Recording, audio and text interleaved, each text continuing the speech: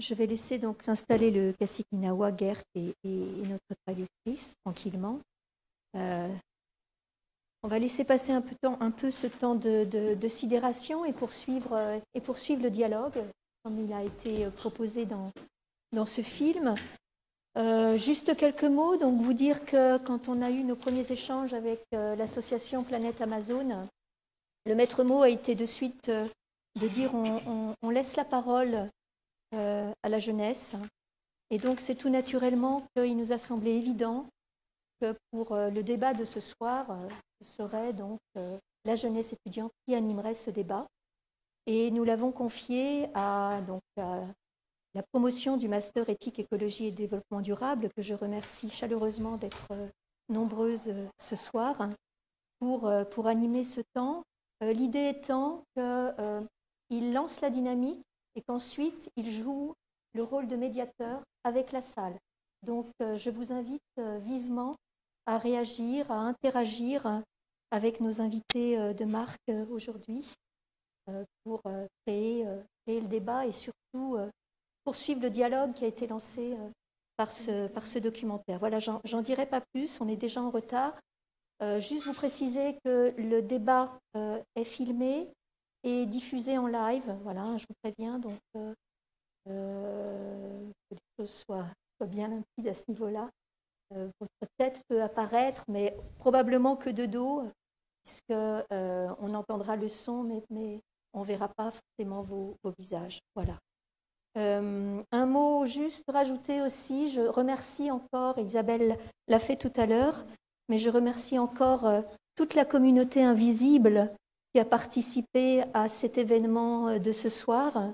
Je veux parler, euh, merci Eugénie, je veux parler notamment de tout le service communication euh, que dirige Eugénie Binet, mais aussi de tous les services de Lyon 3, et y compris des services de Planète Amazon, en particulier Michel, que qui devait peut-être venir ce soir, si elle est là, qu'elle lève la main.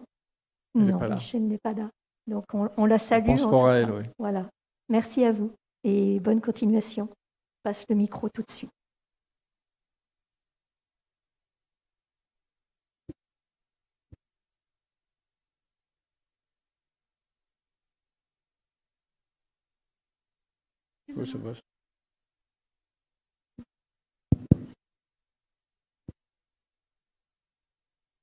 de pedir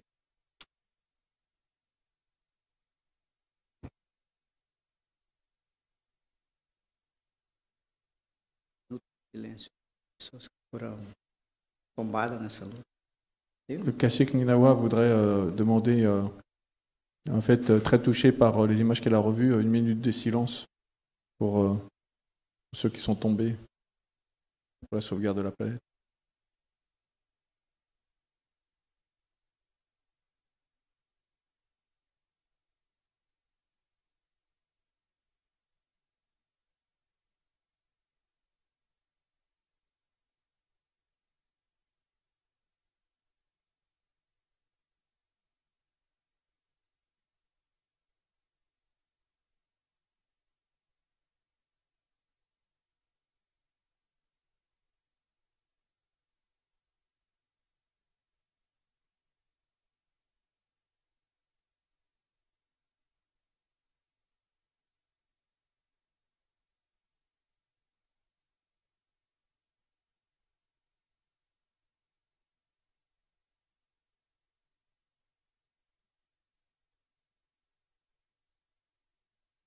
Merci beaucoup.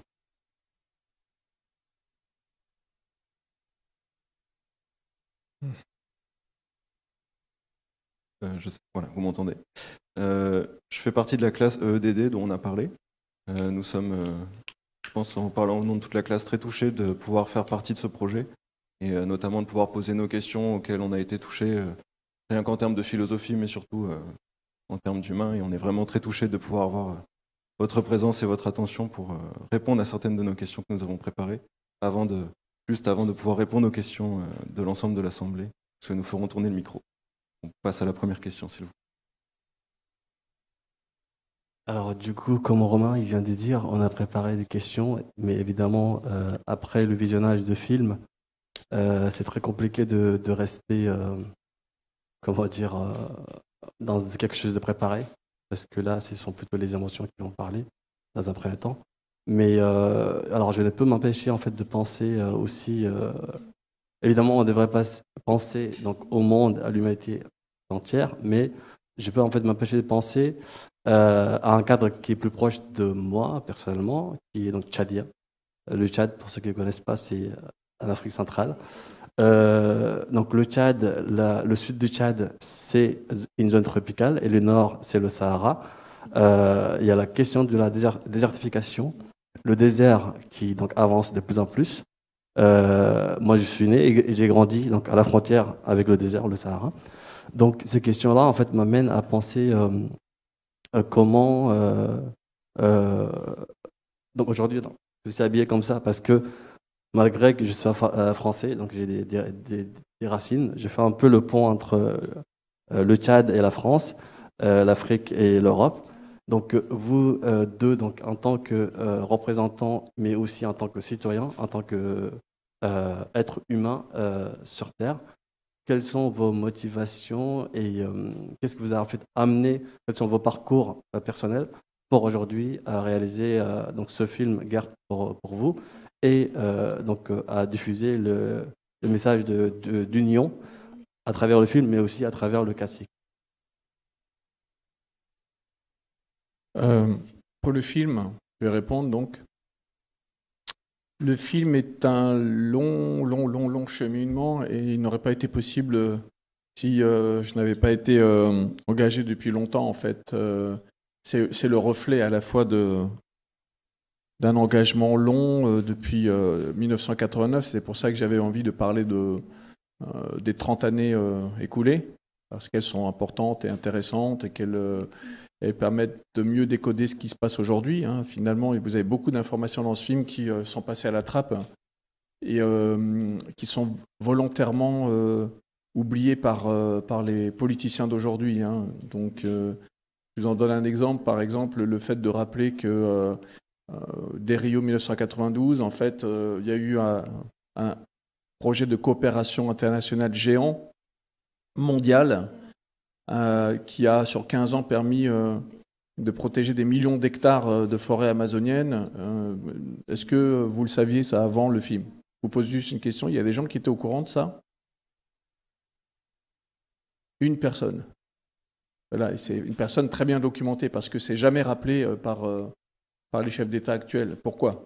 Pourquoi c'est pas rappelé? Parce que bah, ça implique un droit de un droit d'inventaire de la part des citoyens, de dire mais je comprends pas, puisqu'on investit massivement euh, dans la protection de l'Amazonie, pourquoi maintenant vous laissez euh, pas, les industries euh, européennes participer à la destruction? Pourquoi vous signez des accords de libre-échange, etc. Donc ça, ça entraîne des questions forcément gênantes. Donc, en tout cas, en ce qui me concerne, à l'âge de 17 ans, j'ai eu, j'ai eu un choc en découvrant le, le, reportage fait par mon chanteur préféré de l'époque, qui était chanteur Sting, euh, dont, outre la musique, j'aimais beaucoup euh, déjà les engagements, euh, engagés pour des causes diverses et variées, Amnesty International, mais celle-ci tout particulièrement me touchait énormément parce que j'étais déjà en fait très touché par tout ce qui avait lieu à la protection de la planète et en particulier par qu'on appelait les Indiens.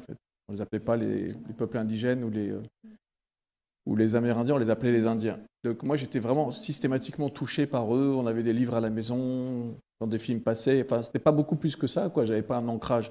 Sauf que j'ai découvert à l'âge de 14 ans que mon grand-père était un, autochtone, était un, indigène, si on peut, voilà, si on peut dire, et, qui vivait au milieu du Sahara. Mon grand-père, pour moi, c'était, je sais pas, je savais même pas qu'il existait presque, parce qu'on n'en parlait jamais. Et, j'ai découvert, parce que ma mère l'a retrouvé à l'âge de 30 ans, et euh, elle a été à sa rencontre. Et donc, moi, je l'ai découvert à 14 ans. Et ça a été un grand choc dans ma vie, bien sûr, de, découvrir mes racines autochtones. Parce que je suis un, enfant euh, de culture française, mais avec des parents euh, d'origine étrangère, mais avec une origine très particulière. Et ça m'a, ça m'a beaucoup marqué parce que longtemps après, quand je suis allé en Amazonie et que je me, suis retrouvé la première fois dans un village autochtone indigène, j'ai eu la même sensation que, que j'avais quand j'étais dans un village au milieu du Sahara, un village autochtone. C'est étrange quand même, parce qu'a priori ça n'a pas de rapport, mais si j'ai découvert qu'il y avait énormément de rapports en fait. La connexion à la nature, le respect de la tradition, les, le temps plus, euh, plus long, j'allais dire, le temps de, le temps de vivre, le temps d'apprécier son environnement. Le, je ne sais pas, je sais pas vous dire, c'est indescriptible, mais en tout cas, moi, ça m'a permis en tout cas de relier. Et, euh, et, pour faire court, ce film était important parce que j'ai commencé à vraiment avoir envie de le faire. Je filmais déjà depuis euh, quelques années, mais là où j'ai eu vraiment un choc et eu envie de le faire, c'est au moment où les peuples indigènes, et vous le voyez dans le film, au moment du 25e anniversaire de la Constitution, où ils sentent déjà le danger qui est fait sur leur droit à la terre, ils se réunissent à, Brasilia, ils se réunissent parce qu'ils savent qu'il y a déjà des projets de loi qui arrivent, et on les prend pour des imbéciles, et d'un seul coup, ils sont dans le Congrès national, ils se rendent compte, ils voient des téléviseurs, ils se disent Ah, mais les députés sont là en direct, ils sont dans la plénière, et il y a une espèce de courant électrique qui passe, d'ailleurs, le classique Ninawa était là, et là, ils se disent Mais on va rentrer, quoi. Et ils commencent à danser, à chanter, etc. Vous avez vu un peu dans, le film, et d'un seul coup, ils font éruption euh, dans le Congrès national, et finalement, ils font irruption dans la vie des citoyens brésiliens irruption, hein, parce que euh, les peuples indigènes, on ne veut pas les voir là-bas. C'est-à-dire, euh, ils sont là. Et je vous assure, vous pouvez marcher avec le chef Ninawa dans la rue, personne ne vous regarde au Brésil. Vous marchez avec le cacique Raoni dans la rue, personne ne vous regarde. Et là, d'un seul coup, ils font irruption dans la, dans la vie de, des Brésiliens. Et c'est un choc, quoi. Pour moi, c'est un choc. Pour moi qui suis informé. Mais le deuxième choc, c'est que l'information ne passe nulle part. C'est-à-dire cette image incroyable n'arrive pas jusqu'en France, n'arrive pas à sortir du Brésil. Encore une fois, là, je me dis, c'est pas possible. Euh, qu'est-ce qu'il faut faire? Qu'est-ce qu'il doit faire pour se faire entendre, pour se faire comprendre? Et là, j'ai décidé de faire le film. Et je me suis dit, voilà, c'est cette image choc en fait qui a été le déclencheur, et aussi les témoignages évidemment que j'ai recueillis, que j'ai commencé à recueillir lors de, de cette euh, mobilisation pour le 25e, 25e anniversaire de la Constitution. Parce que c'était une histoire incroyable déjà. Tout était remis en cause non seulement la constitution brésilienne, mais tous les investissements que, les engagements, je veux dire, que les pays avaient faits. On était 20 ans après Rio 92 et euh, on n'était pas sur le bon chemin du tout. Et j'ai voulu faire un film un peu bilan et en même temps accompagner la lutte au plus près parce que, ayant la chance d'être un ami euh, du chef Raoni, un moment d'être sollicité par Planète Amazon pour être son porte-parole en Europe. Donc c'était des moments extraordinaires qu'on vivait. Euh, on savait que c'est qu'il était déjà très âgé, donc euh, qu'il fallait aussi s'intéresser à la nouvelle garde, et c'est ce qu'on a fait. Et donc voilà, ça fait un film, ça fait une histoire. Et, le positif dans, cette histoire, c'est que pendant, que pendant que tout ça se passait, avec le chef Raoni, on a, on, a, on a réfléchi à un projet, un rêve qu'il avait depuis très très longtemps, depuis peut-être 25 ans au moins. Et j'en avais déjà entendu parler de ce rêve il avait le rêve de pouvoir trouver un moyen de s'unir avec d'autres chefs traditionnels du, Brésil. C'est un rêve qu'il avait un peu laissé tomber parce que personne s'y intéressait dans la réalité. Personne s'y intéressait. Il y a beaucoup d'ONG auxquelles il en a parlé, mais personne s'en intéressait. Et, moi, ça a provoqué un déclic, peut-être parce que justement, euh, j'ai pensé euh, à mon grand-père à ce moment-là en disant, mais oui, il faut relier euh, les gens du Sahara avec les gens d'Amazonie, les gens du Pacifique, etc. Parce que c'est une toile euh, immense tout ça, et chacun lutte de son côté, et chacun se fait euh, dévorer de son côté euh, tout seul. Donc, à partir de là, j'ai commencé à, essayer de, mobiliser un petit peu en France. Je vous cache pas qu'on m'a ricané un petit peu au nez au début, et puis après, petit à petit, on a monté une tournée avec le chef Raoni, on a, été parler avec plein de gens, le président de l'Assemblée nationale en France, vous le voyez un moment, là, cette scène aussi, le prince Charles et d'autres. et l'idée a fait son chemin et on s'est dit, on va tenter le coup. Et euh, lors d'une autre mobilisation au Brésil, euh, Raoni m'a présenté euh, le chef David Yanomami, d'autres chefs, et il a dit Vas-y, parle de notre projet. Donc je, leur ai parlé du projet, et là, les yeux se sont mis à briller. Tout le monde avait la même envie, quoi. et ça, c'était extraordinaire, quoi. Ces chefs traditionnels, même pas, ils n'ont même pas hésité une seconde, quoi. À peine on a commencé à raconter ça, c'est qu'ils ont dit Je suis dedans. Et donc ça, c'était magique. Et donc ils ont commencé à faire un, premier, un premier document. Quoi. On a mis un peu en place les idées de base. Ils m'ont autorisé, donc ils ont signé ce papier à plusieurs, ils m'ont autorisé après à aller euh, contacter euh, d'autres leaders autochtones pour qu'on on fasse un, premier rendez-vous à la COP 21. Et c'est ce qu'on a fait, c'est ce que vous voyez dans le film. Et ça, ça a été le début. Euh, et après, ça a grandi. On a été au Brésil en 2017. Le chef Raoni a appelé à une grande assemblée. Et cette grande assemblée nous a permis, là, de rencontrer vraiment des gens extraordinaires, la Nouvelle Garde. Et le cacique Ninawa, euh, je suis particulièrement fier d'être euh, assis à ses côtés parce qu'il a eu un rôle extraordinaire pendant la grande assemblée.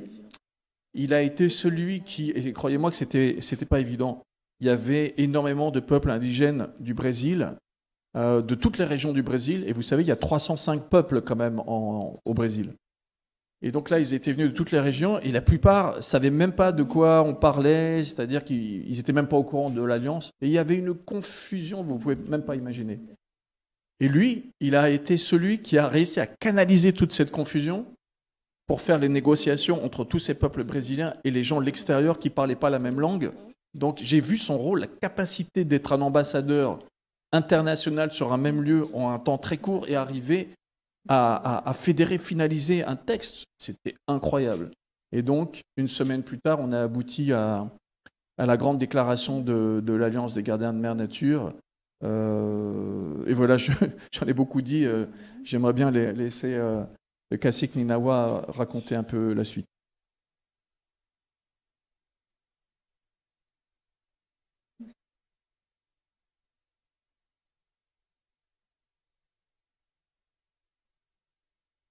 Obrigado, Gert. Obrigado a cada um de vocês que tiveram essa paciência para ouvir esse. É, eu não digo nenhum filme, mas para vocês verem essa realidade do que acontece hoje. Eu sou muito grato e muito feliz por participar nessa aliança como membro e também ser uma das mais eh, liderança mais influente hoje dentro da, dessa grande aliança, buscando mais aliados. Como eu falei no início, esse filme ele é um filme que mostra a realidade. Não tem nenhuma parte aqui que é de ficção. Muito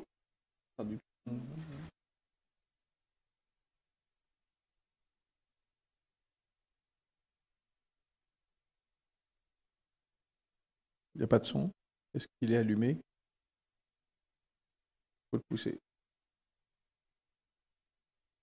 sinon.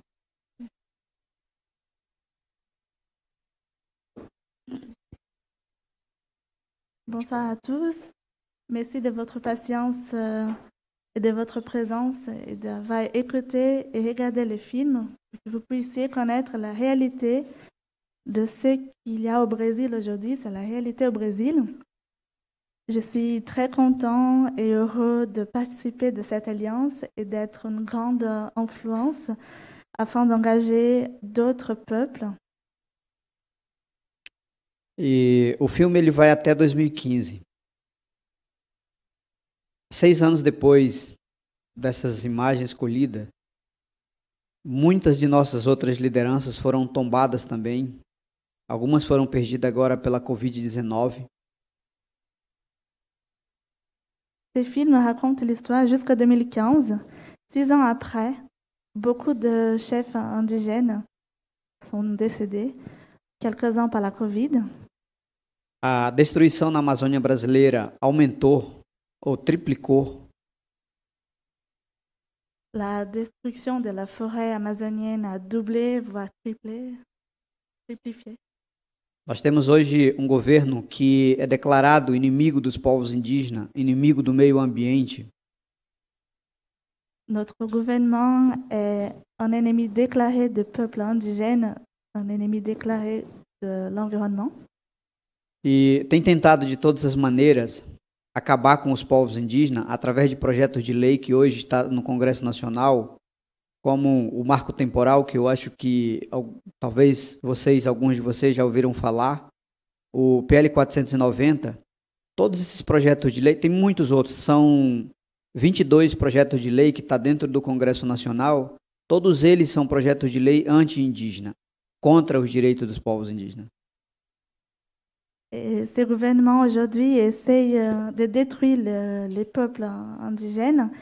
Il y a 22 projets de loi, comme le PL 490, peut-être que vous avez déjà entendu parler, ou Marco Temporal.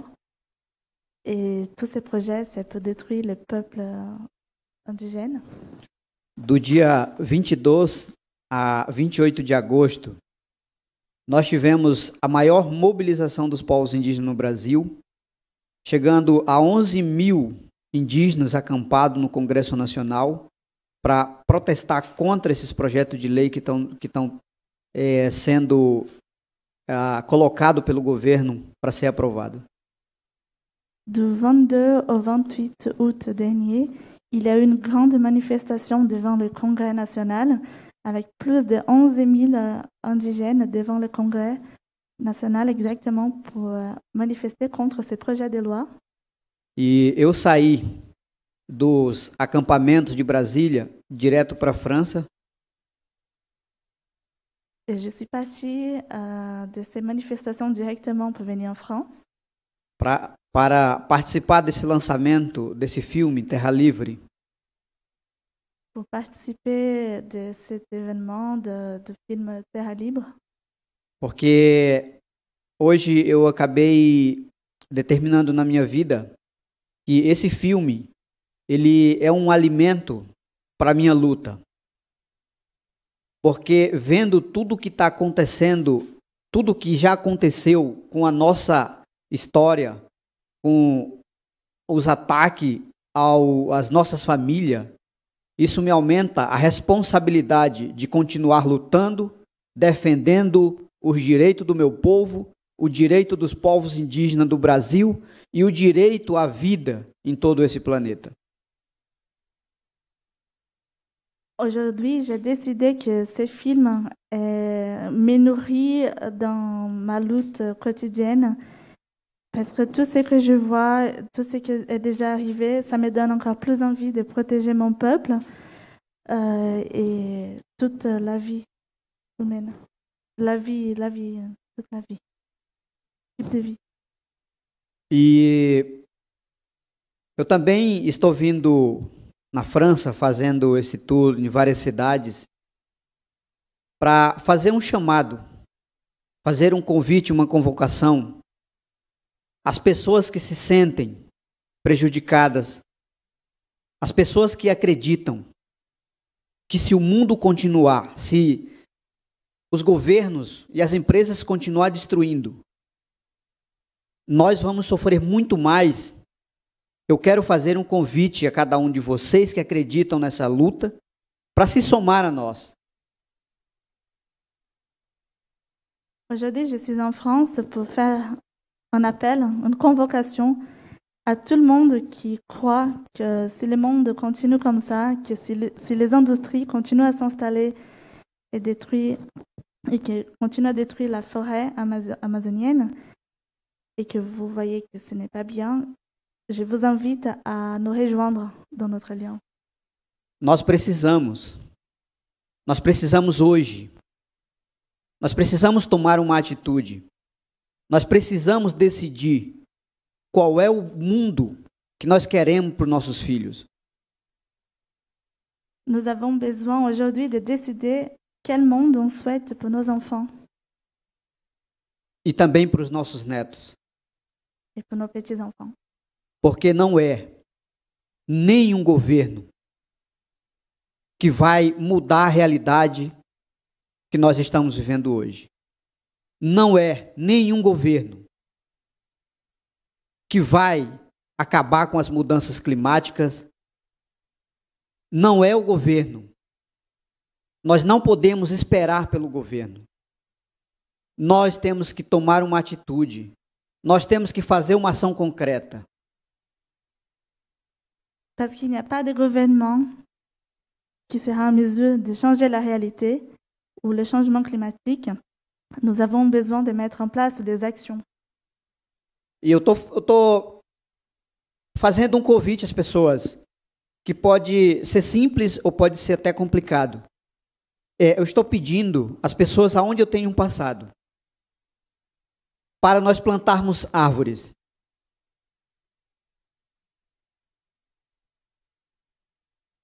Partout où je passe, j'invite euh, tout le monde, une invitation que ça peut être simple ou compliqué, mais de planter des arbres. Porque é uma ação que nós vamos estar fazendo em favor da natureza, um mínimo, de devolver pelo menos um pé de árvore, porque as pessoas que só têm a visão do capital só quer retirar, mas não coloca nada em troca. Vamos preservar um rio. Vamos preservar os animais. Eu fiquei muito triste quando eu soube que aqui na França tem um esporte para matar animal. Isso não é esporte, não pode ser chamado de esporte. Isso é um crime. Planter des arbres, c'est le minimum qu'on peut faire face à la nature. Parce que les gens qui pensent juste à l'argent ne le font pas et ne font rien pour sauver la nature. Je suis très déçue d'avoir appris qu'ici en France, il y a un sport, la chasse, pour tuer les animaux. Ça, ce n'est pas un sport, c'est un crime. Então eu quero fazer esse convite a vocês. Seja um guardião da mãe natureza. E ser um guardião da mãe natureza não é você assinar um termo, uma declaração. É você cuidar pelo menos do ambiente onde você vive. Je vous invite à devenir un gardien de la mère nature. Devenir gardien, ce n'est pas juste signer un document, une pétition, mais c'est de faire en sorte que l'environnement où vous habitez puisse être protégé. O filme deixa muito claro o, o porquê, quais são as causas que está causando esse problema no nosso planeta. O nosso maior inimigo disso chama-se o capitalismo. O capitalismo em grande escala. Porque as pessoas têm que matar, têm que destruir para aumentar lucro de empresa, lucro dos bancos e para os governos aparecerem mais na mídia. É isso que o capital faz. Le film est clair. Les raisons pour tous ces problèmes, c'est le capitalisme, c'est notre ennemi. C'est le capitalisme en grande échelle. Parce que le capitalisme permet de tuer et de détruire juste en pensant aux bénéfices des banques et des gouvernements. Eu queria, desculpa, me alonguei demais, Gersh, Mas eu queria dizer isso a vocês. Eu queria deixar essa mensagem gravada para que no dia de amanhã também vocês possam lembrar do que eu estou falando hoje. Se as coisas piorarem, se nós não tivermos uma atitude, se nós não fizermos uma ação concreta para mudar essa realidade em que nós estamos vivendo hoje.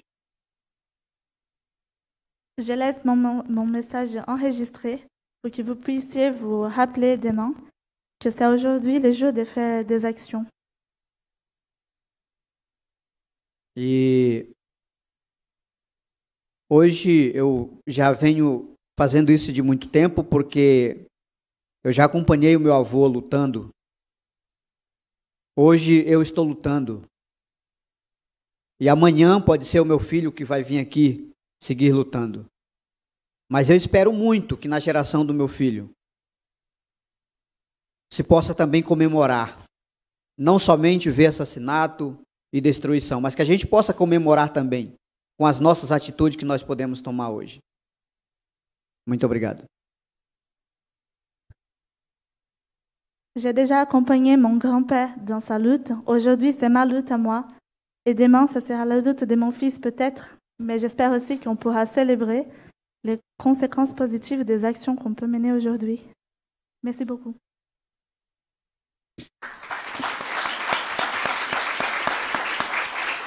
Juste vous montrer euh, ce symbole de notre alliance, qui, euh, qui est le logo de l'alliance.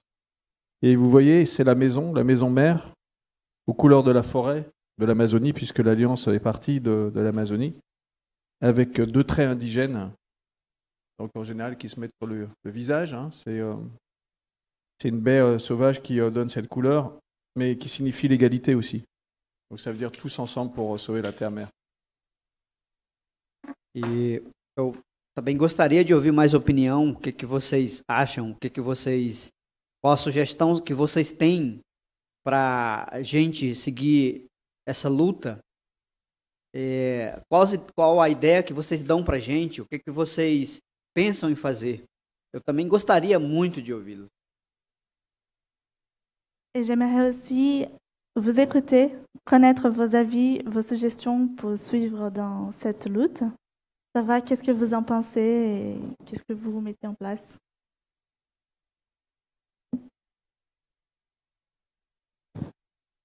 Bonjour Monsieur Kassik Ninawa, merci d'être ici avec nous.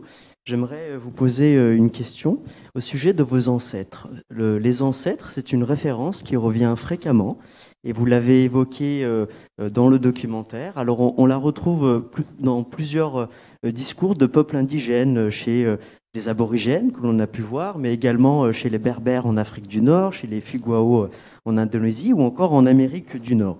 Alors ma question est la suivante, si vous me le permettez. Est-ce que cette référence à vos ancêtres, elle vous donne une responsabilité et une force pour votre combat? C'est la première question. Et la deuxième question, elle vise davantage le futur. Est-ce que euh, cette euh, euh, référence à vos ancêtres, eh bien, vous, vous la cultivez aussi pour avec la transmission de, votre culture orale, par la poésie par exemple, par l'instruction dans, vos villages et dans votre territoire? Merci beaucoup.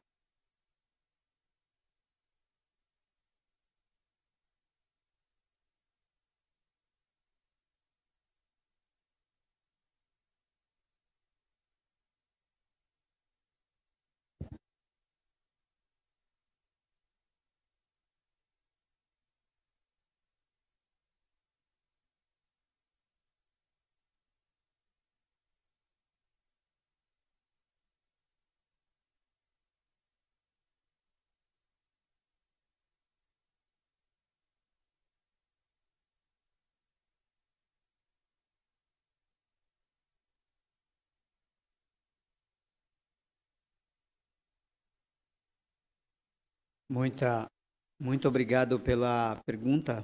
É exatamente isso.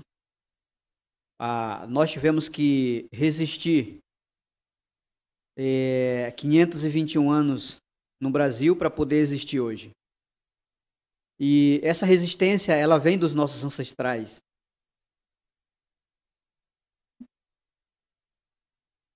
Merci pour votre question. C'est exactement ça. Nous avons besoin, nous avons pas, non, nous avons résisté 521 ans au Brésil pour pouvoir être reconnus.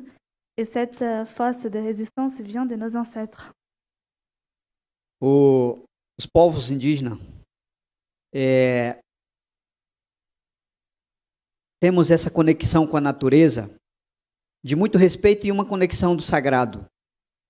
E isso é a nossa espiritualidade.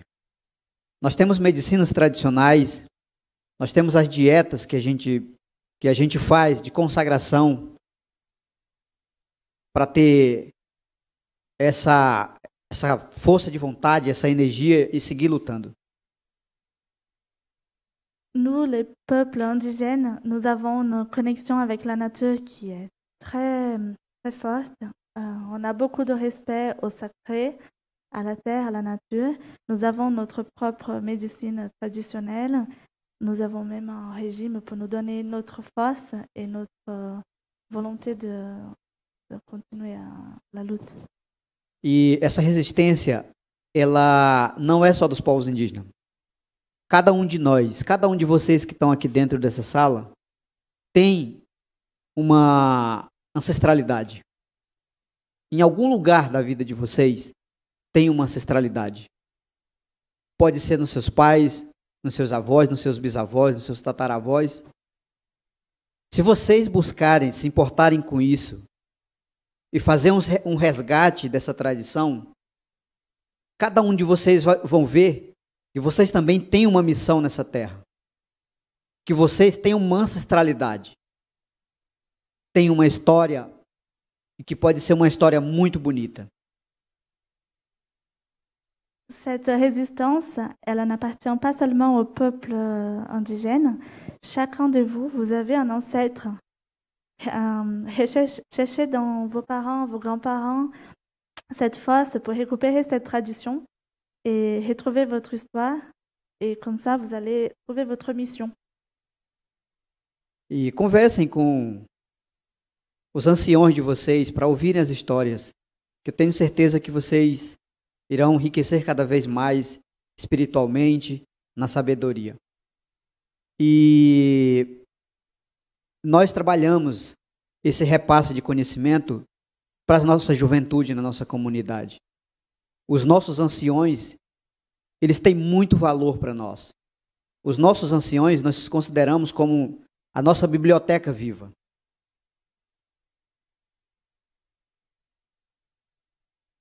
Allez avec vos ancêtres, écoutez le- leurs histoires. Ça va vous enrichir et augmenter votre savoir. Et concernant la deuxième question, on repasse le, toutes nos conna- connaissances. Pour nous, les ancêtres, c'est comme des bibliothèques et on repasse nos connaissances à- aux prochaines généra- générations. E nós tamo, temos uma, um modelo hoje de educação que não é a educação da escola de fora que entra para dentro. Nós estamos trabalhando um projeto de criação de centro de formação que vai ensinar somente a tradição do nosso povo. Isso não significa que nós não vamos ter a escola de fora, que vai, vai permanecer. Mas é hoje o que nós estamos trabalhando para poder manter essa, essa resistência e os conhecimentos ancestrais do nosso povo. E também estamos começando agora a escrever nos livros cantorias, as histórias antigas, as medicinas, catalogando as medicinas tradicionais que nós temos, para que a nossa geração não perca esse conhecimento e não desapareça é, é, é, nesse mundo a nossa história. Aujourd'hui, on a un modèle d'éducation, un projet de, de- de créer un centre de formation juste avec les traditions de notre peuple. On ne va pas écarter l'éducation traditionnelle de dehors, mais on veut mettre en place ces centres de formation écrits dans nos livres, les chants, la médecine traditionnelle, pour pouvoir notre histoire continuer dans l'histoire et ne pas s'effacer dans les temps.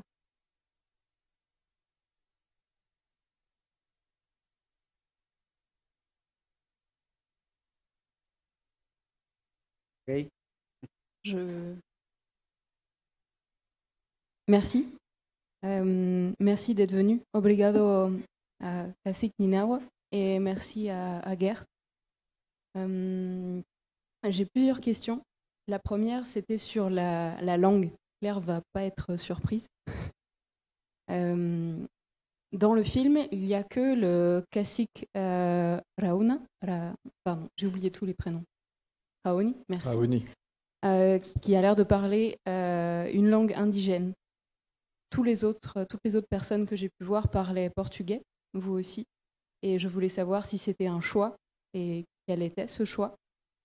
Euh, et je voulais savoir si ça avait un, lien avec euh, le rapport que vous avez avec le reste du peuple brésilien, avec les Brésiliens qui ne sont pas indigènes et qui peuvent vivre à la campagne, euh, dans la forêt ou en ville, dans les grandes villes. Une autre question qui découle aussi de celle-là.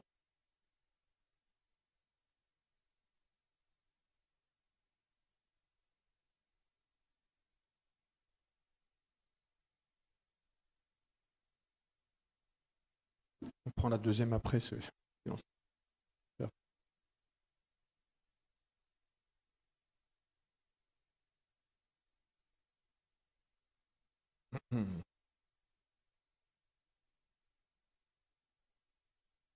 Désolé pour les latences avec euh, traduction. hein, Je sais que les gens qui sont en direct, ça doit être un petit peu difficile euh, pour eux, les gens, les gens qui sont chez eux, mais malheureusement, avec le problème des traductions, c'est souvent comme ça. É, no Brasil nós temos 307 povos, são 200 e, mais de 280 línguas faladas. Fluentemente, 100%. Au Brésil, on a plus de 307 peuples et il y a plus de 280 langues parlées couramment. E o meu povo fala a língua materna. Somos falantes da língua materna. Et mon peuple, parle la langue maternelle. O português, que é a língua brasileira considerada, é, foi imposta dentro da nossa comunidade como uma forma de domínio. Ah, os governantes antigamente queriam que todos nós só falássemos português e esquecesse a nossa língua materna. Le portugais, la langue brésilienne, en fait, ça a été imposé par les gouvernants il y a longtemps pour nous dominer. É, mas porém nós não perdemos e hoje mantém muito forte. Então falar o português também é hoje uma ferramenta de defesa, porque se nós não soubéssemos falar o português, sempre as pessoas iriam falar por nós, sempre iriam decidir por nós. E mas eu particularmente, né, é, tenho a língua materna, tenho a, a, o português e também o espanhol e vou aprender a falar francês, inglês e todas as outras línguas que for possível para poder a gente se comunicar. Mais parler portugais, c'est très important. C'est notre outil de défense. Pour que personne d'autre puisse parler pour nous, pour que personne d'autre puisse parler pour moi, et ni décider pour nous. Donc, je parle portugais, espagnol, je vais apprendre le français, l'anglais. E se for falar aqui na, no Ranchacuim, que é a minha língua, só eu vou entender. E mais ninguém. Et si je parle de ma langue maternelle ici, personne ne va comprendre. Sur- Sur ça, je voulais quand même dire une chose pour- par rapport au Cassie Craoni qui parle dans sa langue traditionnelle. Il le fait volontairement euh, pour qu'on le respecte, en fait. Pour que les gens comprennent aussi qu'il n'y a pas que les langues européennes et qu'ils prennent le temps euh, de l'écouter, même au niveau sonore, et de reconnaître qu'il y a des langues comme ça traditionnelles qui existent encore. Il comprend le portugais, il pourrait le parler, il ne le parle pas très bien. Donc, euh, il impose ça et c'est le cas Sikraoni en même temps. Donc voilà, et c'est bien. À chaque fois qu'il y, y a ce temps, ça complique à chaque fois toujours les, les rendez-vous avec euh, même les ministres, les présidents, etc. Mais les présidents doivent respecter ce que, ce que souhaite le Kassi Kraoni. C'est comme ça qu'il fonctionne. Et il a bien raison, je trouve. Après, c'est vrai que pour un instant, pour un côté pratique, euh, euh, Ninawa vous parle en portugais et ça, nous fait gagner du temps. Vous voyez déjà avec la latence, alors s'il parlait en plus dans sa langue traditionnelle, euh, voilà. Mais euh, voilà, je voulais juste expliquer pourquoi le classique Raoni euh, tient à parler dans sa langue. Pardon. Euh, et le- les questions qui suivent, c'était sur le, rapport à l'autre et donc aux Brésiliens qui ne sont pas indigènes et plus particulièrement ceux qui habitent dans les grandes villes. Et ce qui m'a fait penser à ça, euh, c'est que tous ici, je pense qu'on est venus parce qu'on est déjà sensible à la question environnementale, à la protection des cultures et des peuples indigènes. Euh, mais comment font les tribus pour toucher les gens qui ne les connaissent pas, qui ignorent ce qui se passe ou qui n'ont absolument euh, aucune sensibilité pour la protection environnementale Obrigado.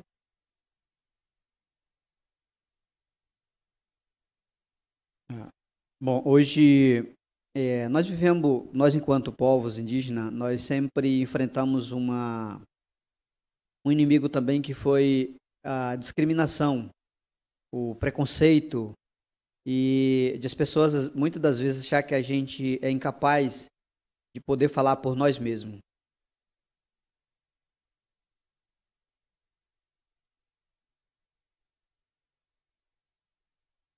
Euh, nous avons été vus pendant longtemps comme l'ennemi.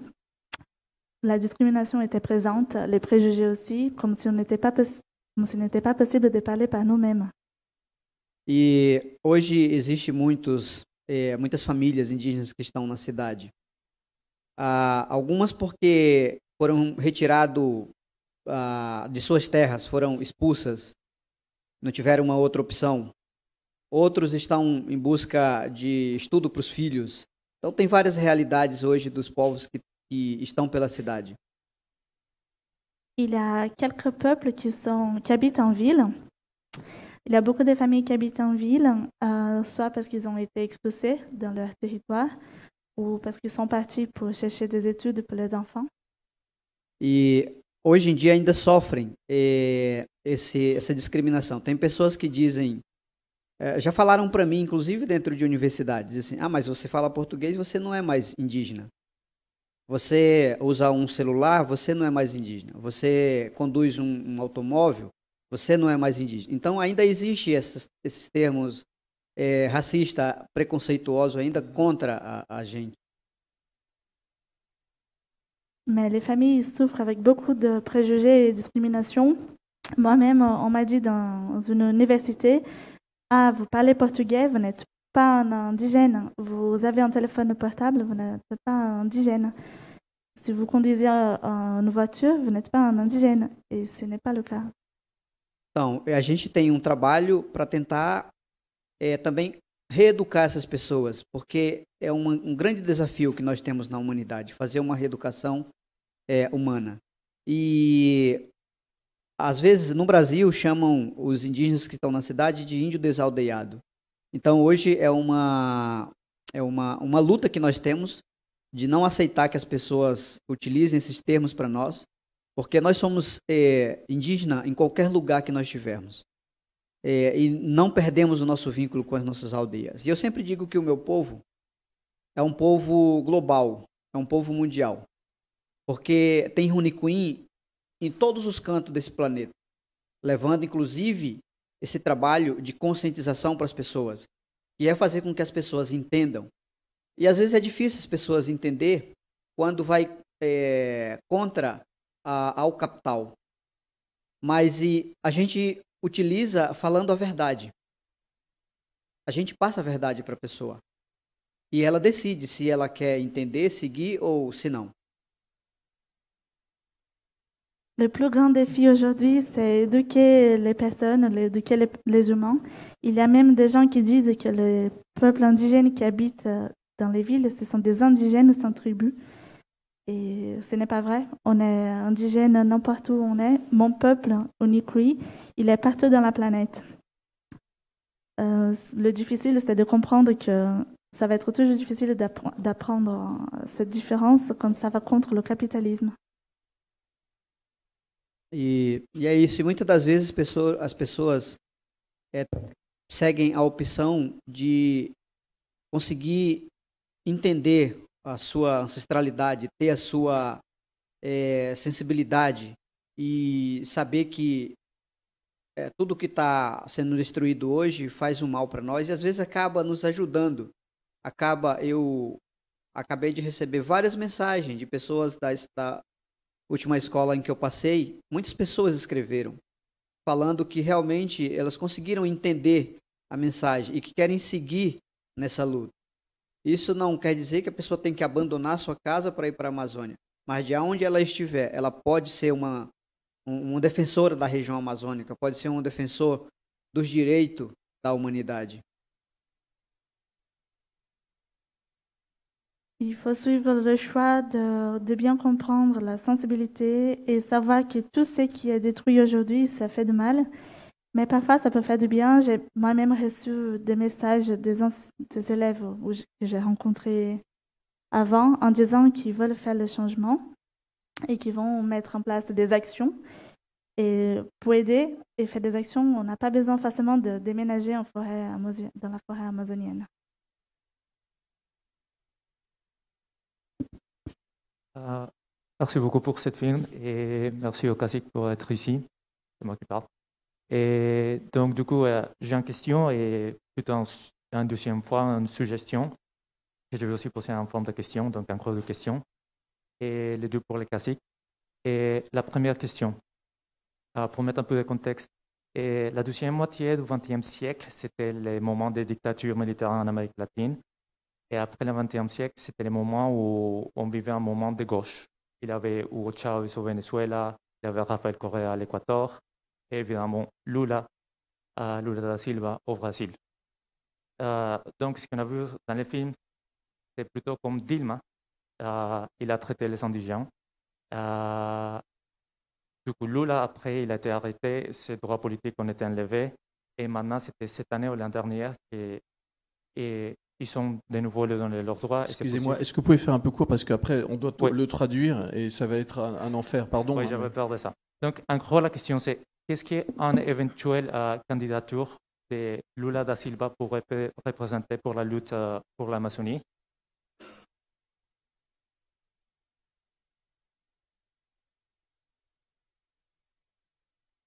É, o Lula é, já fez dois mandatos no Brasil e o Lula foi a esperança do povo brasileiro. Você é uma pessoa que veio da luta, é, veio da base, conhece toda a realidade da população brasileira que é considerado minoria, povos indígenas, é, produtores familiares, é, extrativismo, enfim, todos, to, todos o, o, o segmento considerado minoria, por isso se tornou a esperança do Brasil. Lula a deux mandats au Brésil. Il était l'espoir du peuple brésilien pour la lutte des minorités, comme les peuples indigènes, les petits producteurs. Il était vraiment l'espoir. Porém, é, criou alguns programas que, é, entre aspas, ajudou algumas famílias, como o programa Bolsa Família, que é um recurso bem mínimo que disponibiliza para as pessoas que não têm renda. É um programa Minha Casa Minha Vida que possibilita as pessoas é, que têm um, um, recurso razoável pagar uma, uma a prestação, uma moradia. Il a créé des programmes qui ont aidé euh, le peuple. Par exemple, Bolsa Família, c'est un soutien financier qui n'est pas élevé euh, aux familles qui sont dans le besoin. Et aussi un autre projet qui s'appelle Minha Casa Minha Vida pour aider les gens à devenir propriétaires. Minha Casa Minha Vida, qui veut dire ma maison, ma vie.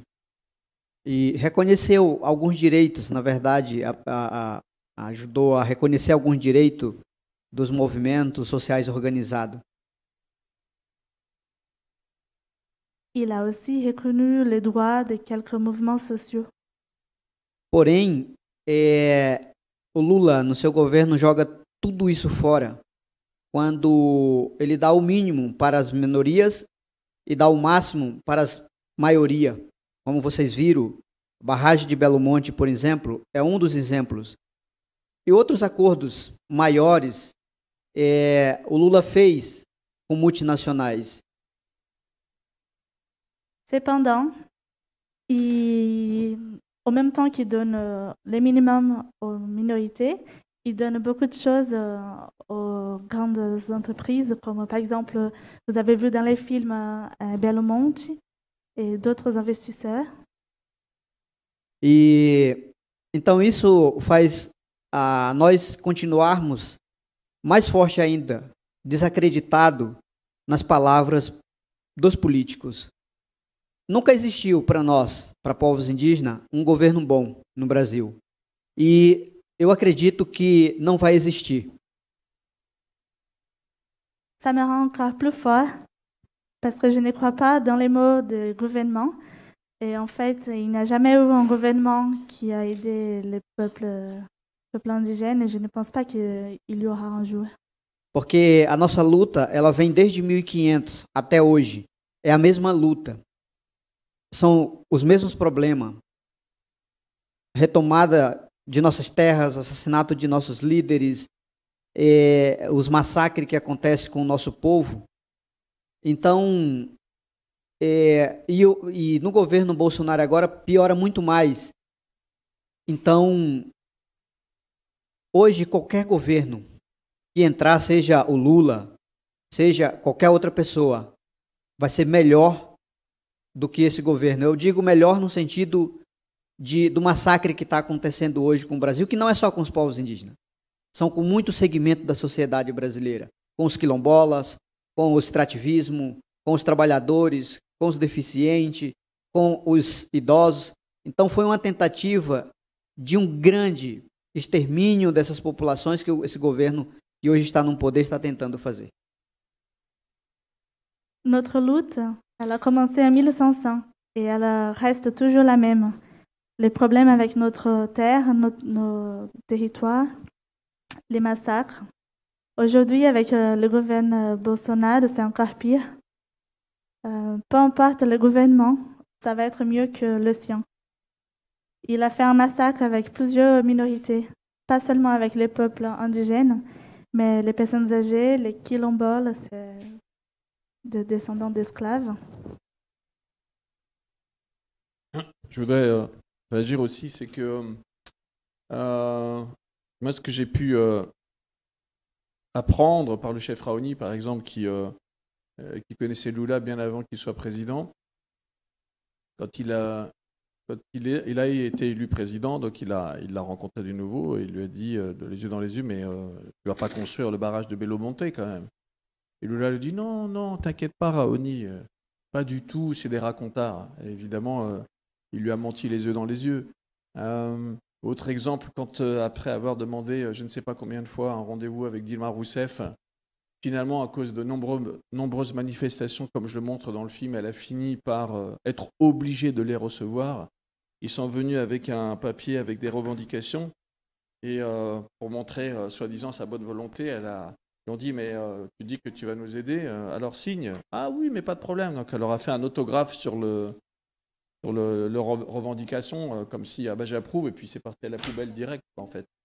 Donc le problème, c'est que quand vous avez euh, des gens comme ça euh, de gauche qui finalement arrivent au pouvoir et qui donnent un, grand espoir, ce qui est toujours intéressant de voir, c'est bizarrement, c'est comment ils traitent les peuples indigènes. Vous avez le vrai indice en fait de la vraie réalité de leur politique. et pour eux en particulier, euh, c'est triste à dire, mais euh, Lula a, été, a commencé à diminuer la démarcation des terres indigènes. C'est vraiment terrible de dire ça, mais ce sont des hommes de droite qui ont démarqué plus de terres indigènes euh, que, les gens de gauche. Donc Lula, le premier mandat, il, a, il en a démarqué déjà moins que son prédécesseur. Deuxième mandat, il a encore bien plus diminué la démarcation des terres indigènes. Et quand Dilma est arrivé au pouvoir, alors ça a été la dégringolade complète, elle n'a pratiquement démarqué aucun. Et ce sont des gens de gauche, quoi. Donc, euh, qu'est-ce que vous croyez qu'après euh, les successeurs euh, comme Michel Temer ou Bolsonaro ont fait finalement? Finalement, ils ont encore aggravé, on va dire, la politique déjà presque anti-indigène, hein, parce que Belo Monte, je suis désolé, mais c'est l'œuvre de Lula quand même. Donc, le retour de Lula au pouvoir, est-ce que ça va être un miracle pour les indigènes? Certainement pas. bien sûr qu'il va s'en servir dans sa campagne parce que euh, il va avoir besoin. Donc ça va être le grand sauveur des peuples indigènes dans sa campagne, je n'en doute pas une seule seconde. Euh, mais bon, voilà, on ne peut pas leur faire confiance. Et euh, le classique Ninawa a raison. et on le pense aussi très fort. Et c'est pour ça que l'Alliance des gardiens de Mère Nature existe. C'est que nous, on pense mondialement, et le chef Raoni pense la même chose, c'est que c'est les citoyens qui, vont faire la différence. Cela, ils nous mentent depuis une trentaine d'années. Est-ce que vous pensez qu'ils vont arrêter de nous mentir? Non, ils vont continuer à nous mentir, à nous embobiner, ils savent la réalité des problèmes, mais ils seront toujours pris en sandwich dans les lobbies. Au mieux, bon, donc voilà, il ne faut rien attendre d'eux. Euh. Bien sûr, ça sera peut-être un peu moins grave. C'est un peu comme, voilà, on a sorti Trump du pouvoir. Euh, il nous cassait les pieds, c'était, euh, ça ne s'arrêtait pas. Mais est-ce que la situation est réglée pour autant aux États-Unis? Non. Donc ça va être pareil au Brésil, mais ce sera quand même moins pire, c'est sûr. On va prendre une, vraiment micro-dernière question. Je suis désolée, euh, il faut qu'on, il faut qu'on clôt le débat.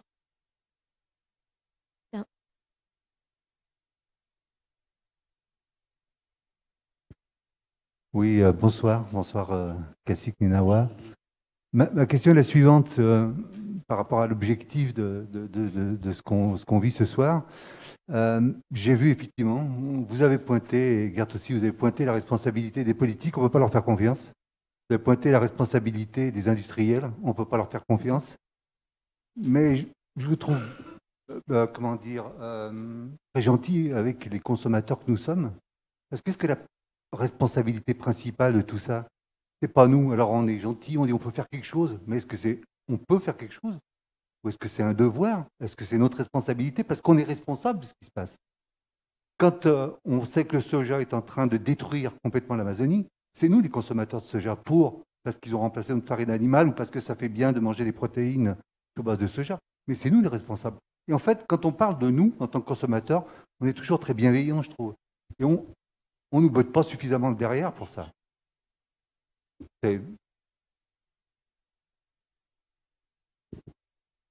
Moi, euh, juste, euh, juste un petit mot, je suis pas d'accord avec le fait qu'on est responsable, on nous rend responsable, c'est pas tout à fait pareil.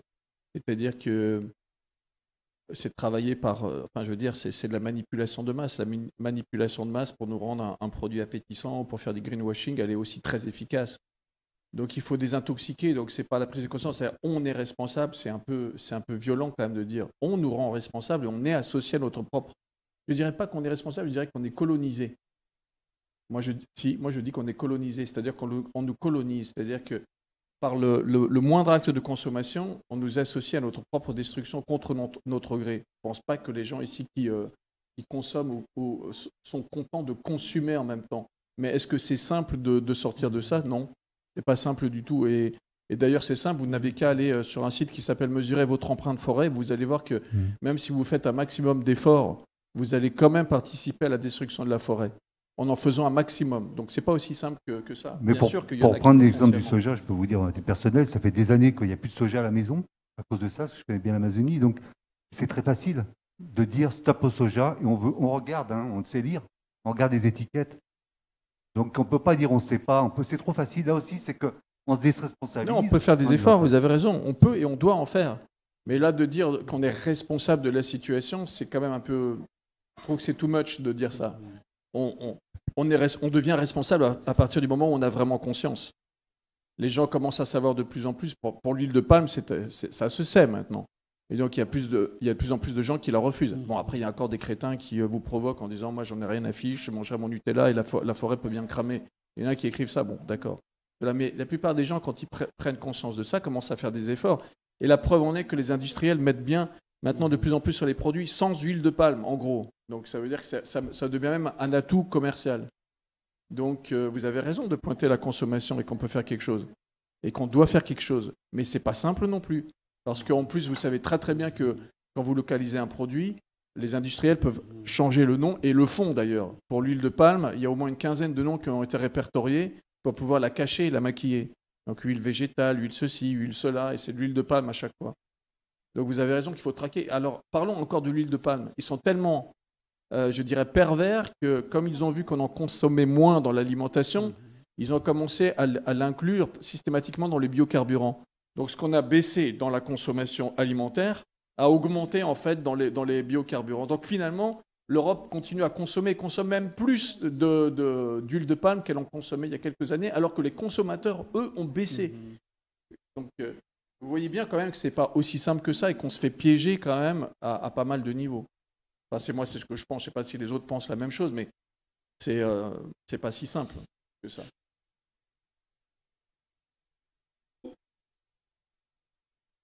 En plus, oui, oui. C'est montré dans le film d'ailleurs. Vous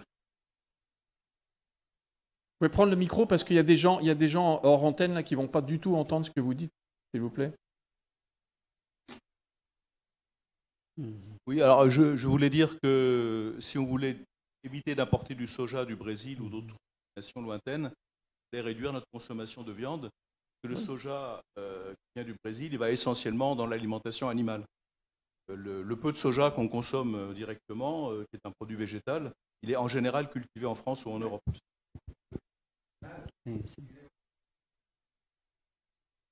OGM ou pas OGM, ça je sais pas. S'il vous plaît, parlez tous dans le micro, sinon les gens qui sont encore en live ne vous entendent pas. Désolé d'insister là-dessus.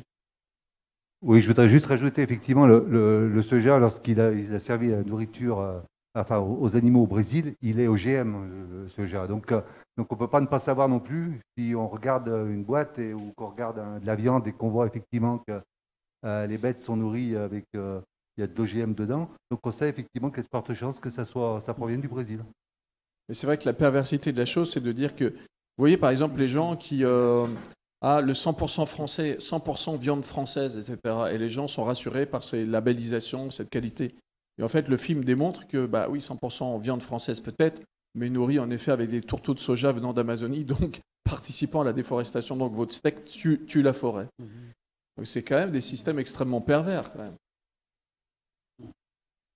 Tem uma, tem uma um acordo que é muito perigoso. E é muito importante a gente saber disso.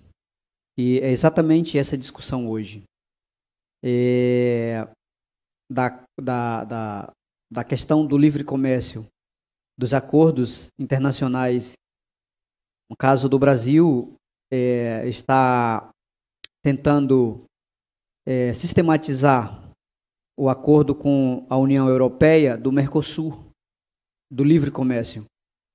Isso é muito perigoso, por quê? Porque o Brasil ele já tem uma grande porcentagem de desmatamento por conta da agropecuária, que é exatamente a carne também que é exportada para cá, a soja, a madeira, vários outros produtos que são consumidos aqui na, na, na Europa.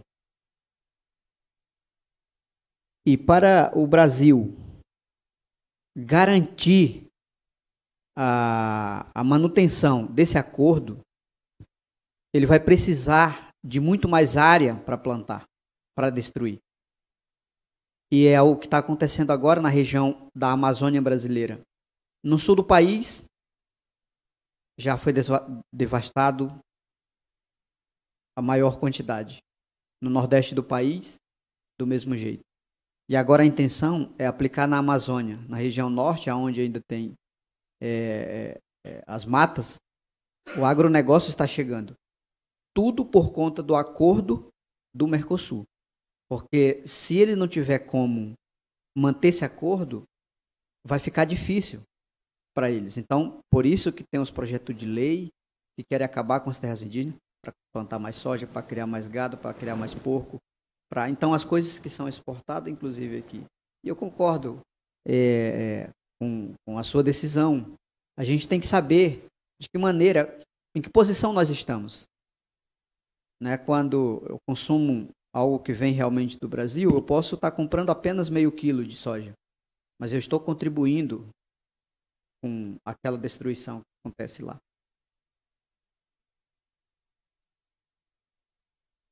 C'est très important de parler des accords internationaux entre le Brésil, l'Union européenne et le Mercosur concernant le libre commerce,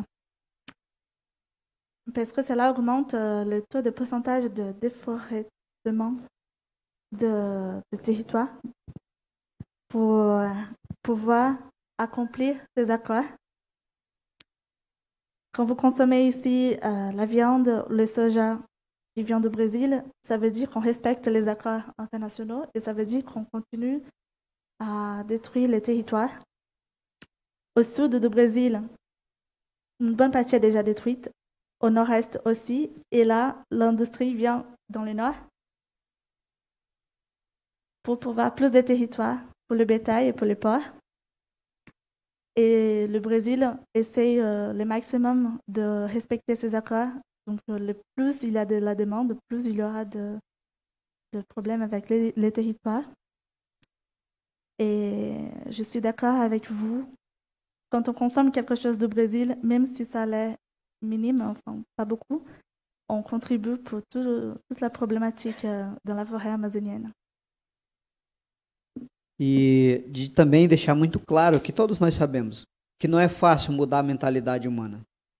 Não é fácil fazer com que as pessoas estejam conscientes disso.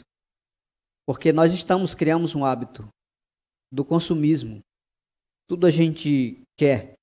Então é difícil você querer que as pessoas mudem de hoje para amanhã. Sabemos que não vai ser assim que vai acontecer. E é por isso que nós, enquanto aliança, estamos chamando, fazendo esse convite, para que nós possamos se juntar. Porque a luta hoje ela é feita separada. O governo faz para um lado, a empresa faz para o outro, o movimento social está de um lado. Então, todo mundo quer fazer a sua parte. Esse é um dos problemas. E é um dos desafios nossos. De juntar para nós podermos de verdadeiramente encontrar uma solução para resolver. E eu queria muitíssimo agradecer a paciência de cada um que permaneceu até agora. É, espero que eu possa ter contribuído com alguma coisa e que vocês possam refletir sobre isso. E mais uma vez eu quero deixar aqui uma, um pedido: plantem árvores. Depois, vocês, quando nós estivermos com uma idade mais avançada, vão entender o porquê desse pedido. Plantem árvores. Façam uma, uma, uma ação diferente.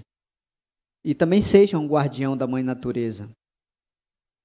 É, não precisa você ir lá para a Amazônia enfrentar a Força Armada como a gente enfrenta. mas preserva as, os bosques que vocês têm aqui, os rios, os animais. Vocês já estão sendo um, um guardião da mãe natureza. E nos ajuda também a preservar a, a Amazônia, porque eu tenho certeza que todos vocês sabem da importância da Amazônia, que é considerado o pulmão do mundo. Muitíssimo obrigado, muitíssimo obrigado à universidade, que o curso que vocês estejam fazendo seja um curso que vá trazer um benefício para a nossa sociedade diferente. E parabéns aos é, mestrando que possam ter sucesso. Agradecer ao Planeta Amazônia que tem estado ao nosso lado, a cada pessoa que tem contribuído para esse momento. Agradecer a, a, a tradução, é, a, pela sua paciência, eu falo muito, né, ela nota, mas e dizer isso. Vamos construir um mundo melhor. Isso não vai depender do governo, vai depender de nós, da nossa atitude, do que nós vamos fazer hoje, nós ter um mundo melhor. Auge, auge.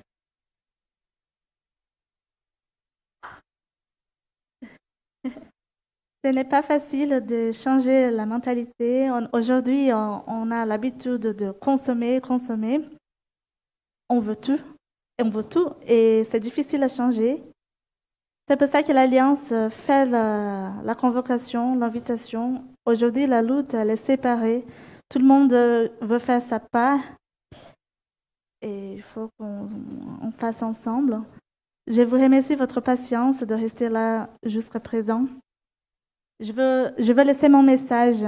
Planter des arbres, c'est une action différente et quand vous serez âgé, on en parlera. Devenez chacun gardien de la mère nature. Préservez vos bois, les fleuves, les animaux. Vous n'avez pas besoin d'aller à la forêt amazonienne pour être un, gardien. Vous savez, l'Amazonie est très importante, c'est le poumon du monde.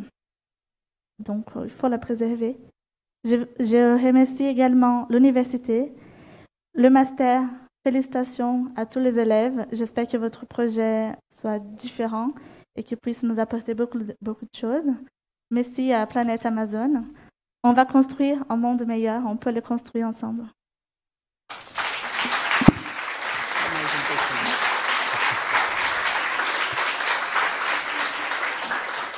Obrigado. Sais- só para encerrar, encerrar mesmo a minha parte. Plantem uma árvore e dê uma- um nome para ela.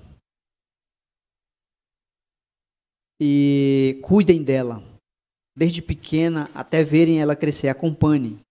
E depois eu vou voltar aqui para ouvir de vocês qual foi a experiência que vocês tiveram cuidando de uma árvore.